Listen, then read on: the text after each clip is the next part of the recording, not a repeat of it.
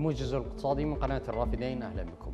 عزل المستشار المالي والاقتصادي لرئيس الحكومة الحالي مظهر محمد صالح استمرار ارتفاع سعر صرف الدولار في السوق الموازي إلى تأخير تشريع قانون الموازنة في العراق. وقال صالح إن استمرار ارتفاع سعر صرف الدولار له عدة أسباب.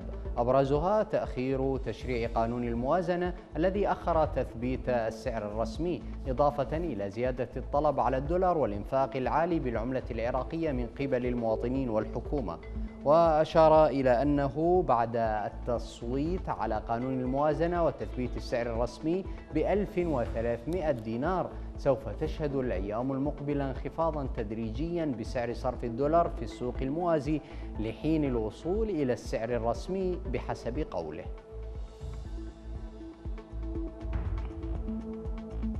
أعلن المستشار التجاري بالسفارة الإيرانية في بغداد عبد الأمير بيهاوي أن صادرات إيران إلى العراق بلغت العام الماضي أكثر من عشرة مليارات دولار.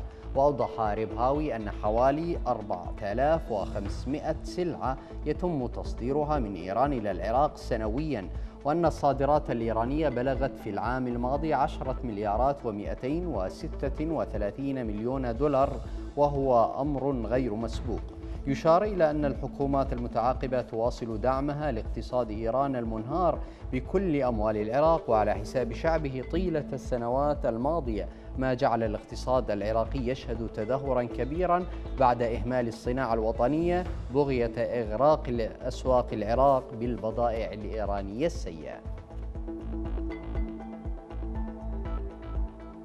أجرى وفد من ممثلي شركات تركية زيارة إلى مدينة السليمانية التقى خلالها رجال أعمال ومسؤولون محليون في المنطقة من أجل توسيع المجال التجاري.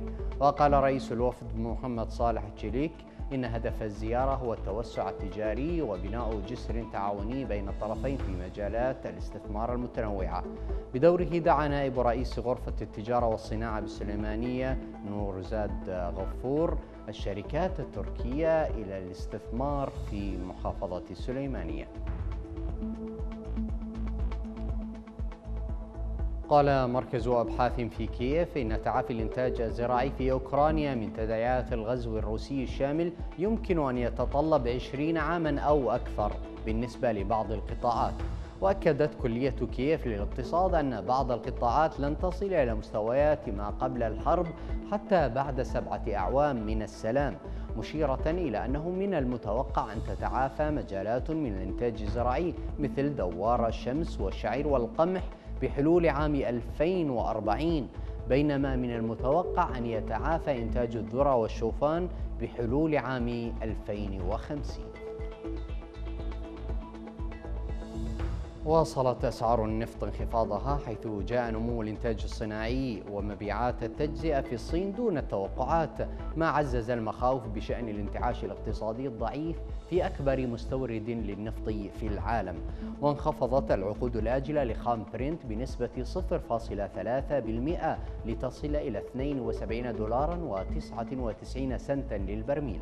كما نزل خام غرب تكساس الوسيط الأمريكي بنسبة 0.3% ليصل إلى 68 دولارا وسبعة سنتات للبرميل.